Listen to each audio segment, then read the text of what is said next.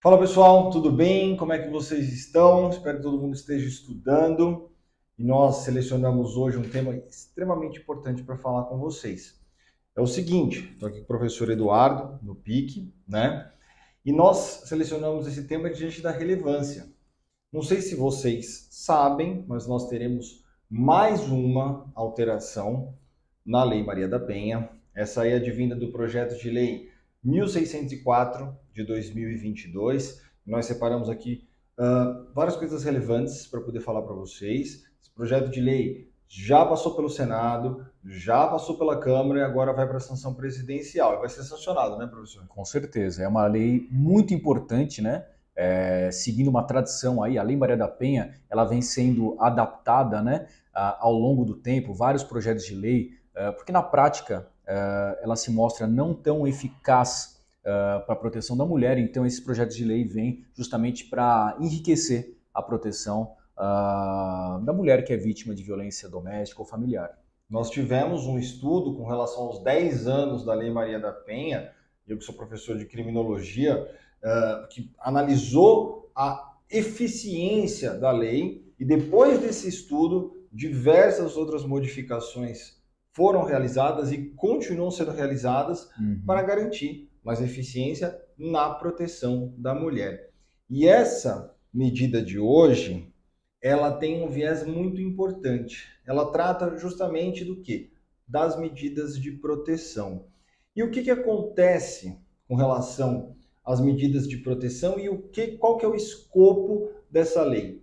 Dissociar totalmente a questão da punição do agressor, do indivíduo que violenta a mulher, da questão da punição da proteção. Não é isso, professor?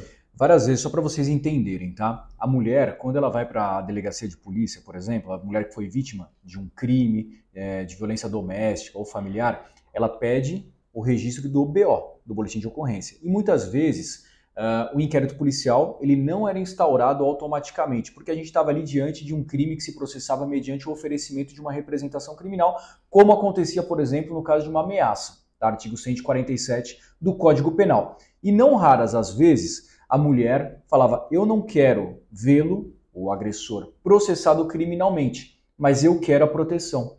Então, o que, que nós fazíamos, nós, como delegados de polícia? Nós registrávamos o boletim de ocorrência, uh, da ameaça, consignávamos no boletim de ocorrência que ela não queria oferecer a representação criminal, porém que ela desejava o, a concessão né, das medidas protetivas previstas na Lei Maria da Penha. E não raras as vezes, os juízes acabavam condicionando a existência de um procedimento penal, ou seja, de um inquérito policial para a concessão das medidas protetivas. Ou seja, não existe medida protetiva para quem não representar criminalmente nesse caso. Exatamente. Você já deve ter pego também alguns casos semelhantes, diversos, né? Diversos, diversos. E justamente a, a, a ex-senadora Simone Tebet, que foi a autora do projeto de lei, e eu vou até citar para vocês, uh, nas palavras da senadora, né?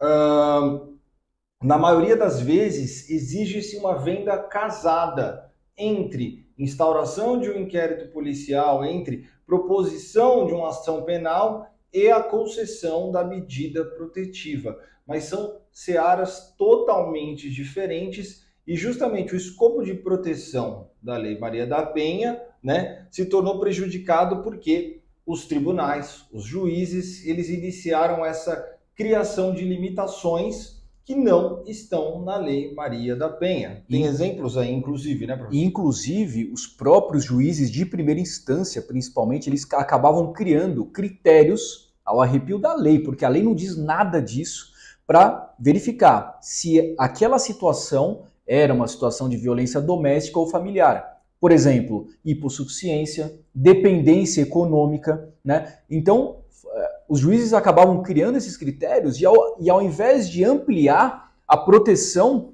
da, da, da, mulher que é vítima né, de uma violência doméstica, eles acabavam restringindo. Exatamente. Existem critérios de subordinação, quer dizer, se a mulher não for subordinada ao homem ou dependente economicamente do homem, uhum. nesse caso, ela não poderia receber uma medida de proteção. Mas o que, que tem a ver a dependência econômica com o fato da mulher estar sofrendo uma violência psicológica, uma violência sexual, uma violência moral, uma violência física, não tem absolutamente nada a ver. A dependência econômica, por uhum. exemplo, é um critério que foi criado de forma a limitar o respaldo que a Lei Maria da Penha se deu. É o arrepio da mens legis, da intenção da lei. Exato. A mulher que é bem sucedida economicamente, então ela era afastada do escopo da Lei Maria da Penha, o que é um grande absurdo. Então me parece que esse projeto de lei vem em ótimo momento e, na verdade, para atingir o real objetivo da lei, que é proteger a mulher vítima de uma violência doméstica ou familiar. Exato. E assim,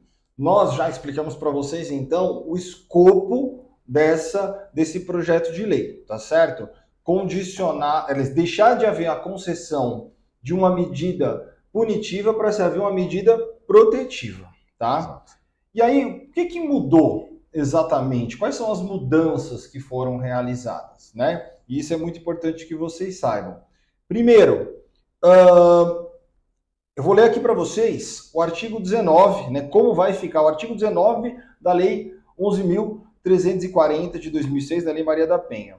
Uh, o artigo 19 fala agora, né, assim que for sancionado, que as medidas protetivas de urgência poderão ser concedidas pelo juiz a requerimento do MP ou a pedido da ofendida, claro, com dois parágrafos. Parágrafo 4 as medidas protetivas de urgência serão concedidas em juízo de cognição sumária a partir do depoimento da ofendida perante a autoridade policial ou da apresentação de suas alegações escritas, e apenas poderão ser indeferidas diante de comprovada inexistência de risco à integridade física, psicológica, sexual, patrimonial ou moral da ofendida e de seus dependentes.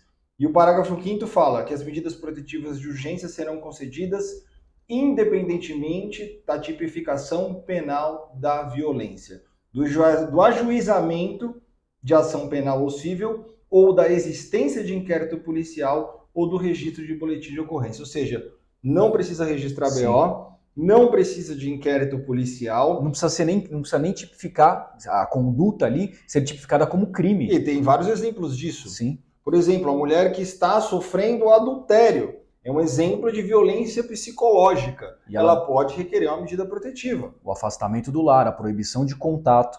Então, na verdade, o escopo da lei está sendo plenamente atingido aqui.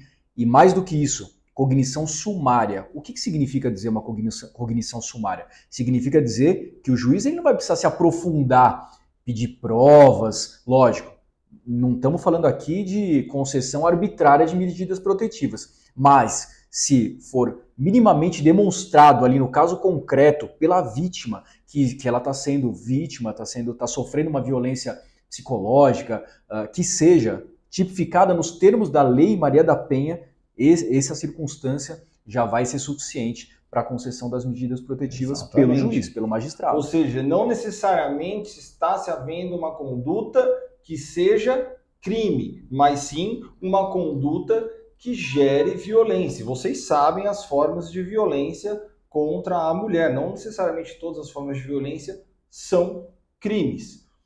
Bom, uh, essa lei, na nossa sincera opinião, acredito também, a sincera opinião, acredito que o professor Eduardo também, uhum. ela veio muito a calhar na proteção da mulher, sim, né? Sim. Obviamente que abusos, inclusive, é, é, que estão aqui na, na lei, justamente se, se houver qualquer provas de que não seja não haja veracidade naquilo que a mulher está falando, elas serão indeferidas, né? Mas nós não podemos tomar a exceção por regra. Uhum. Se houver abuso, esses abusos serão coibidos. Existem tipos penais para, por exemplo, uma mulher que eventualmente esteja mentindo para prejudicar o companheiro, a denunciação, denunciação caluniosa, caluniosa, uma falsa comunicação de crime, no caso ela está indicando, então não caberia, mas uhum. uma denunciação caluniosa, por sim, exemplo, sim. né? Uma, uma difamação. Agora, uma, uma, uma calúnia. Agora, percebam né, a, a, a, a questão.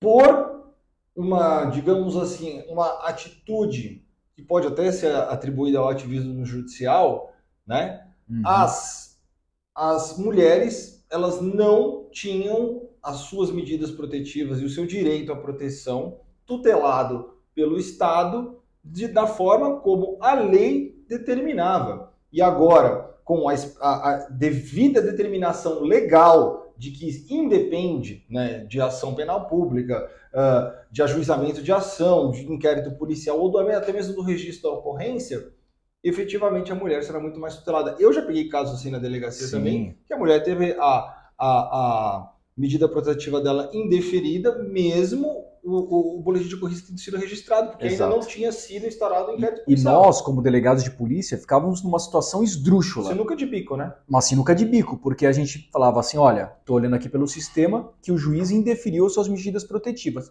Mas por quê? Porque não existe procedimento penal. Aí eu, como delegado de polícia, vou orientar, olha, você tem que oferecer a representação criminal. Quer dizer, eu estou me colocando no lugar da vítima, manifestando a vontade por ela, porque sem isso as, as, medidas protetivas não seriam concedidas. Um grande absurdo. A famosa vitimização secundária Exatamente. ensino em criminologia. Exato. Bom, era isso que a gente tinha que falar. Isso aí. Espero que com esse vídeo fique bem claro essas alterações. Preciso dizer que vai cair em todos os concursos, todas as provas. Vai despencar, na verdade. Vai despencar. E o PIC traz para você exatamente aquilo que cai na sua prova. Espero que vocês aproveitem esse conteúdo. Estudem, estamos juntos. Obrigado. Valeu.